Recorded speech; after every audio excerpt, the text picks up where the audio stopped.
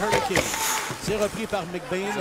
Oh, et McBain, un dégagement qui est allé tout près de Marc. Est-ce que c'est Carey Price qui a capté?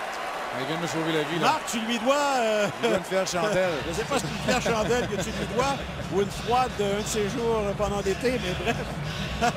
La rondelle s'en venait directement vers nous. Et il s'était moqué de moi, vous savez, en première période, parce que c'est tout ce qui est arrivé à notre collègue à New York. Il a reçu une rondelle en plein visage. Oui, oui. je me méfie. C'est la première fois qu'il est sur le banc à côté de moi. Alors, il s'était moqué de moi en première période, mais là, il, vient de comprendre pourquoi on est aux aguets. Écoute, je j'étais pas sûr de ce que j'avais vu, mais j'aurais pu dire, euh, j'aurais pu mieux décrire la séquence.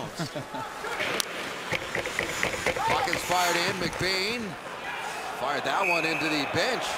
I think Carey Price caught it in his glove. He's ready. He's be ready for tomorrow night. He, he making saves. He's on the statue, and you know what? He saved Mark Denis because he's the commentator for RDS, and that would have caught his goaltending colleague a broken nose there. Or, you know, what Mark Denis, it probably would have went between his legs.